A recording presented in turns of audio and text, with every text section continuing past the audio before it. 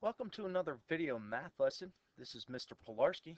Today we're going to be talking about an Algebra 1 topic, solving two-step equations. I work out of the Algebra 1 copyright 2009 Prentice Hall edition. This is their lesson 3-1, my part 2. The objectives for today are I will be able to solve two-step equations. I will be able to use deductive reasoning to solve equations. So let's take a look at some examples here.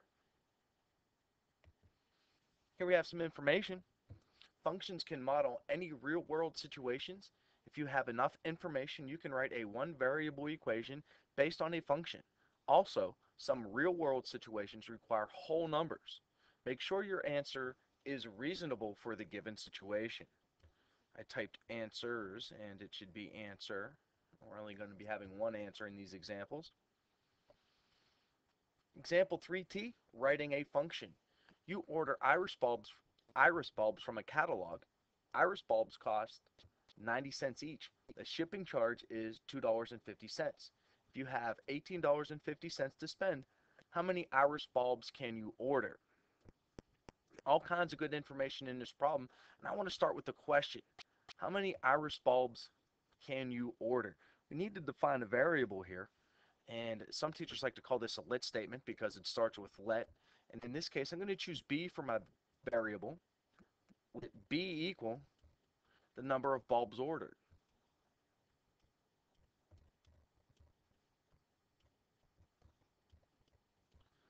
Now that I have my variable defined, we can talk about the kind of problem this is. This is a part-to-whole relationship. The whole being the amount of money that you have to spend, the 1850. That's how much money you have to spend. The two parts of this problem is the shipping charge of 250 and the cost of the irises. The cost of the irises at 90 cents a piece. So we'll start writing this equation with the whole, or how much money I have to spend. I have $18.50 to spend. And that's going to be equal to the sum of the two parts. The one part is the shipping charge, $2.50. That's a flat rate. No matter how many bulbs I order, they're going to charge $2.50 for shipping. The rate that changes, or the value that changes, is going to be the iris bulb, or the cost of the iris bulbs, and that's because we don't know how many I can order. So we're going to write that part as 90 cents times B, the number of bulbs ordered. So how much money I have to spend is equal to the cost of the shipping plus the cost of the iris bulbs. So we have to solve this equation for B to figure out how many iris, iris bulbs I can order. Solving this equation requires two steps. Subtract 250 from each side. When we subtract 250 from each side, that gives us 16 on the left-hand side. And 0.90b on the right-hand side, or 90 cents times b. Next, we'll need to divide each side by 90 cents. And the 90s on the right divide out, leaving us with 1b, or the 0.90s, I should say. 16 divided by 0.90 or 0.9 gives the decimal, the rational number, 17.7. But for this problem, I need a whole number. I can't order 17.7 bulbs, so I need to either order 17 or 18. So if I order 18 bulbs, that's going to cost me too much money. And let me show you why. If I say B is equal to 18, and I substitute that into the equation, 1850 is equal to 250 plus 0.9 times 18,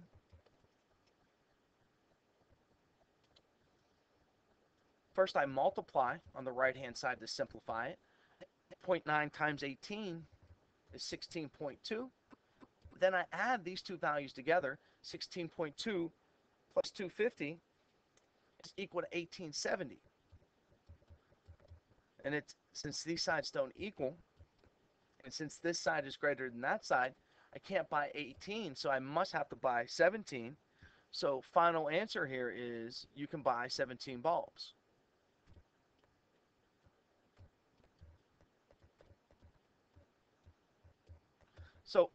Not always going to have to follow the rules of rounding. Sometimes you're going to have to decide on which one is the correct answer. Example 14, moving into the second objective, using deductive reasoning. Uh, this is starting to build for geometry where we need to solve the equation 8 is equal to c divided by 24 plus 4 and justify each step. The first thing to do is to write down the original equation. 8 is equal to c divided by 24 plus 4. And as far as a reason for that, that would be the given. Now, the next thing that you're going to do is get rid of the plus 4. So that means we need to subtract 4 from both sides. So 8 minus 4 is equal to c over 24 plus 4. And now here comes the minus 4. I subtracted 4 from both sides. And that's the subtraction property of equation or equalities.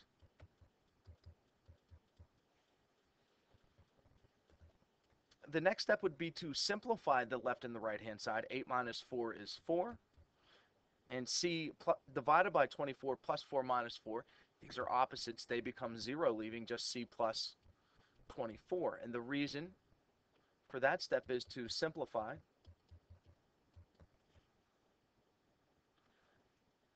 Next, what we need to do is get rid of this divide by 24, which means we need to multiply both sides by 24. So that'd be 24 times 4 is equal to c over 24 times 24.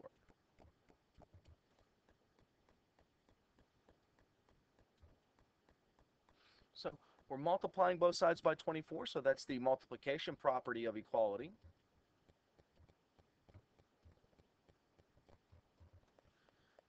Then we simplify. 24 times 4. 4 times 4 is 16. Carry a 1. 4 times 2 is 8 plus 1 is 96. And on the right-hand side, the 24s divide out, leaving 1c. So 96 is equal to c. And that step would be to simplify. And we have solved this equation and justified each step. These are the reasons or the justifications.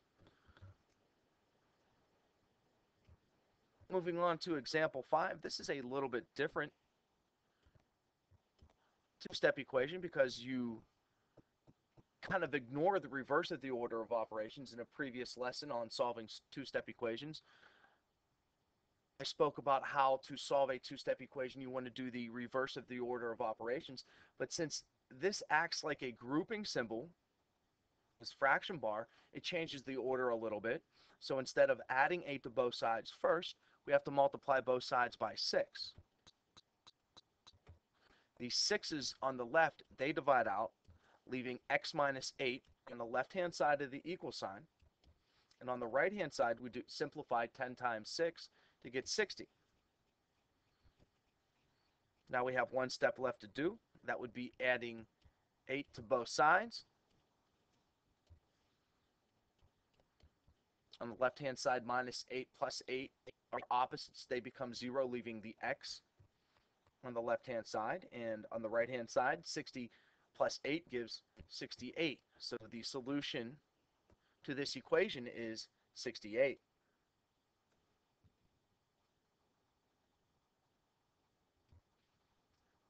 In example 6, we integrate a little bit of geometry. It gives you the information you need to know about the geometry. So example 16 says solve.